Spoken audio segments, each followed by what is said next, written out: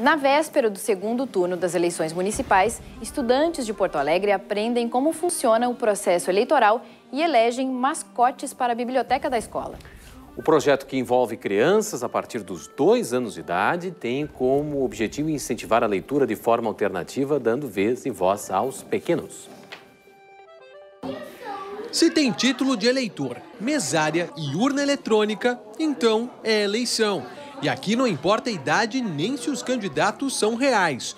O negócio mesmo é exercer a democracia e votar. Você pode escolher um mascote literário da biblioteca.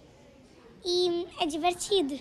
Desde setembro, esta escola, na zona leste da capital, tem ensinado aos alunos o beabá de uma eleição. Os candidatos foram sugeridos pelas próprias crianças. Teve até campanha eleitoral e segundo turno. E eles vivendo esse pleito, que é aqui essa votação, eles vivendo essa votação, eles também estão vivenciando de uma forma ou de outra tudo o que acontece né, numa, numa votação real. Então, eles fizeram propaganda eleitoral, né?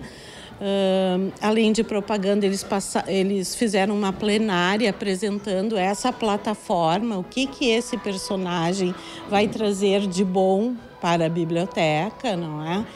E aprenderam muito, não só sobre esse processo eleitoral, mas sobre cidadania. Né? Peter Pan, o Pequeno Príncipe e o Gato de Botas são três dos candidatos que disputam o voto da criançada. E nessa corrida eleitoral, muito tem sido aprendido. Nos votos, a gente não sabe quem ganha, só quando termina.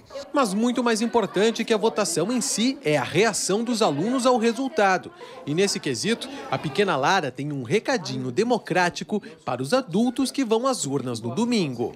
Tá, mas o que acontece se o candidato que tu votou não ganhar? Uh, aí a gente fica meio triste, tudo bem, mas a gente pode falar que legal, amigo, que teu personagem ganhou.